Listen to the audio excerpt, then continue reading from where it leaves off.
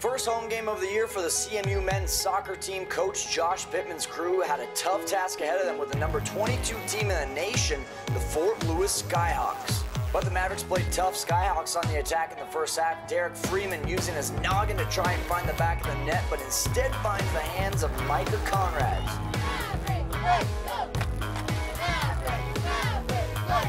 Six minutes later in the first half, Alon Hernandez tries his luck, but no dice. Ryan Shaw scoops that one up. We remain scoreless.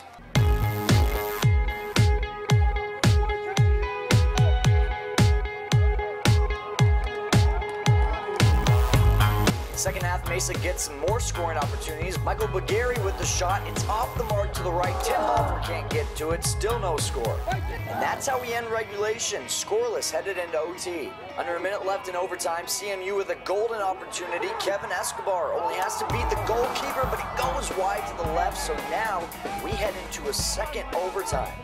Looks like this one is going to end in a scoreless tie, but with 45 seconds left in the game, Zach Lawrence has an open shot from Fort Lewis. That hits off the crossbar, but it bounces right back to Giannis Becker, and there it is. The only goal is scored after 109 minutes of play. Heartbreaking loss for Mesa, 1-0 the final. They will play again on Sunday against Colorado Christian at Walker Field.